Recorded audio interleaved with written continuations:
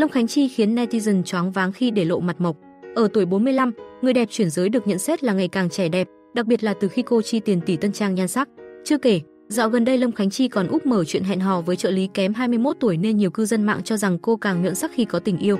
Tuy nhiên, mới đây trên trang cá nhân, nữ ca sĩ bất ngờ khiến nhiều netizen choáng khi để lộ mặt mộc và mái tóc sơ xác vì dụng nhiều. Qua ảnh cận mặt, nhan sắc của Lâm Khánh Chi khi không son phấn vẫn rất nổi bật với đường nét sắc sảo và làn da ít khuyết điểm.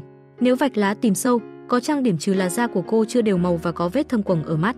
Điều khiến nhiều cư dân mạng quan tâm chính là mái tóc của Lâm Khánh Chi cách đây vài tháng trông rất sắc sơ và thậm chí bị hói ở phần trán. Người đẹp 45 tuổi cho biết, em bị thay đổi nội tiết mà tóc rụng như lá mùa thu, vuốt ra cái cả nắm tay sốt hết cả ruột. Nhờ được chăm sóc tích cực, sau vài tháng mái tóc của Lâm Khánh Chi dần dày hơn, tóc con mọc nhiều hơn và điền vào chỗ trống ở những chỗ trước đây bị hói. Ở tuổi U50, nữ ca sĩ vẫn giữ được sắc vóc trẻ trung và năng lượng tràn đầy. Gần đây, cô còn được nhiều netizen ví là Phạm Băng Băng phiên bản Việt khi make up theo nữ diễn viên Cbiz. Về chuyện tình cảm, từ khi đường ai nấy đi với chồng cũ, người đẹp chuyển giới chưa chính thức công khai mối quan hệ với ai. Dạo gần đây, nhiều netizen đặt nghi vấn liệu Lâm Khánh Chi có đang có tình cảm với trợ lý kém 21 tuổi hay không vì cả hai thường xuyên đăng ảnh tình tứ, đi du lịch cùng nhau. Tuy nhiên, cô đã lên tiếng phủ nhận chuyện này. Đừng quên theo dõi New 24 giờ sao Việt để cập nhật những thông tin mới nhất.